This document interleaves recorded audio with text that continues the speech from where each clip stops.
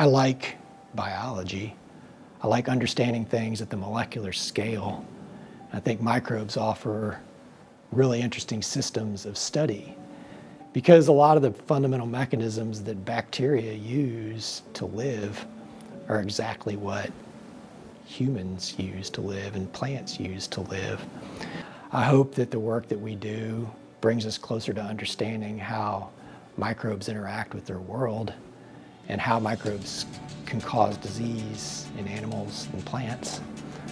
And you know, the, I hope I hope the fundamental work that we're doing is able to move the needle on that going forward. That's the long-term goal. It's important to have the facilities to do level three work because Brucella abortus, one of the Brucella species that we work on, is a biosafety level three pathogen.